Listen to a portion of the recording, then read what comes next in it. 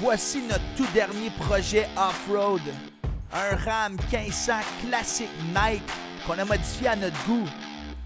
Premièrement, on lui a mis une push bar avec une barre de LED intégrée et le capot sport en option. L'édition Night vient avec quatre phares halogènes automatiques teintés ainsi que la calandre et les emblèmes noirs tout autour du camion.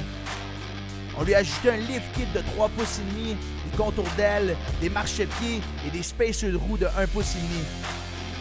Il est chaussé sur des beaux mags de 20 pouces avec des pneus tout-terrain homologués 4 saisons. Le voici dans sa version crew cab avec la boîte de 5 pieds 7. Et finalement, on lui a posé un design graphique émis pour lui donner un look unique. À l'intérieur, on y retrouve toutes les commodités.